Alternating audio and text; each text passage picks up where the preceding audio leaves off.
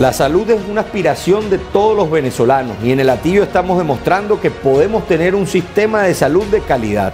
Este año atendimos una cifra récord de más de 80 mil pacientes atendidos. Hemos abierto nuevas especialidades.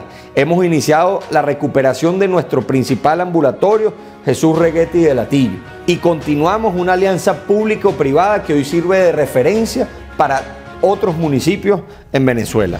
La educación ha sido una prioridad para nuestra gestión. No existe futuro si no invertimos en educación. Este año logramos nuevamente aumentar la matrícula escolar de nuestras escuelas municipales. Concluimos la primera fase en la recuperación integral de la infraestructura de nuestras escuelas. Logramos cerrar con un staff de docentes completo y logramos mejorar todo nuestro sistema educativo, que incluye nuestras cinco escuelas municipales, La Tillanita, el Centro de Educación de Adultos y el Centro de Oficios y Artes de Latillo, que ya lleva más de 1.500 vecinos egresados. La salud y la educación son derechos inalienables de todos los seres humanos. Tristemente hemos visto un retroceso en nuestro país en estos temas, pero en el Atillo trabajamos para que esta situación mejore. Así se construye la Venezuela posible.